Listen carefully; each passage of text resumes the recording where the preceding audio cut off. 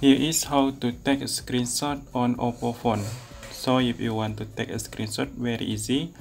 First you can take screenshot from power button like this, power button and volume down button.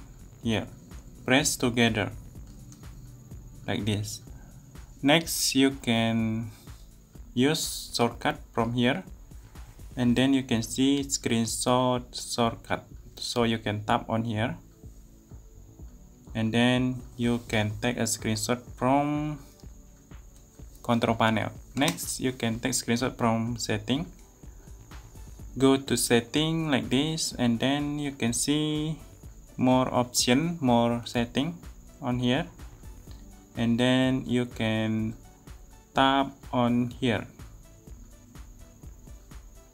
Use assertive touch like this or you can use here. Three finger screenshot. Don't forget to enable this button like this. Very easy. Thank you for watching my video